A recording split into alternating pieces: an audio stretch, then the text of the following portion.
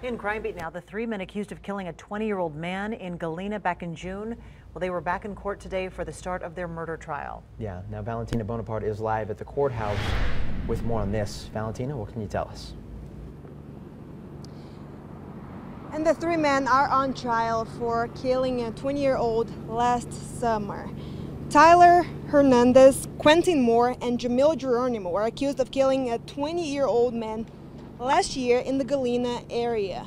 One of the suspects is also accused of firing shots inside the Loving Cup that same night. The three suspects pleaded not guilty in March of this year. Today in court, the owner of the Loving Cup testified and described what happened in the night of the shooting. Other, other witnesses were also there and explained that night the incident from their perspective as well.